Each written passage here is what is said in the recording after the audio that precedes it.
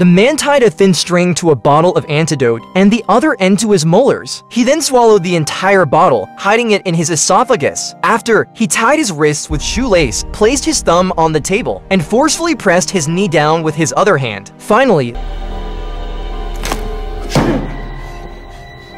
The man dismantled a lighter and concealed the flint in the crevice of his fingernail. With everything in place, he was about to go donate bone marrow, his only chance to escape. Since his bone marrow was to be extracted, the police had to loosen the handcuffs. The man yanked the bottle down his throat and into his mouth. When the anesthesiologist administered the drug, he bit the bottle to relieve the anesthesia. Simultaneously, he adjusted his broken finger and freed himself from restraints. The man abruptly stood up, grabbed an oxygen tube, opened the valve, and ignited it with the flint. He aimed it at the doctors and police officers. The operating room descended into chaos as the man darted into the laundry chute.